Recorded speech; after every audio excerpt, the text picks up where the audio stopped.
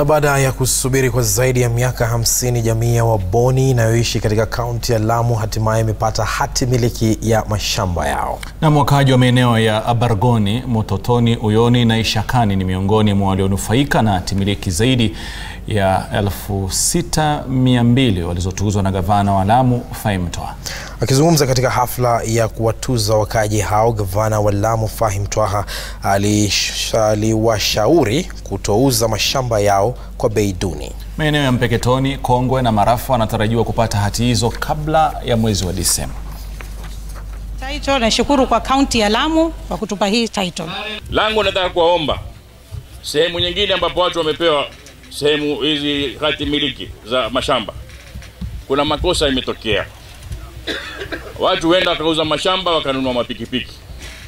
Naomba kwa sani yenu msifanye mambo hayo mtakapopata hati zenu.